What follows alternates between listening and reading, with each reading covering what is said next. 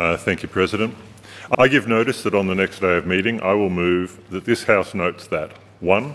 The Australian Criminal Intelligence Commission recently published the National Wastewater Drug Monitoring Program Report number 21, showing an increase in the use of illicit drugs in Australia, with the consumption of cocaine, MDMA and methamphetamine rising by as much as 33%.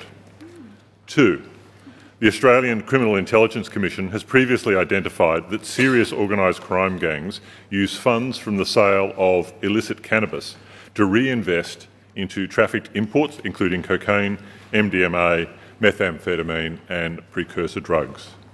Three, legalisation of cannabis would A, deprive organised crime gangs of funds, thereby reducing their capacity to import and manufacture dangerous drugs of addiction.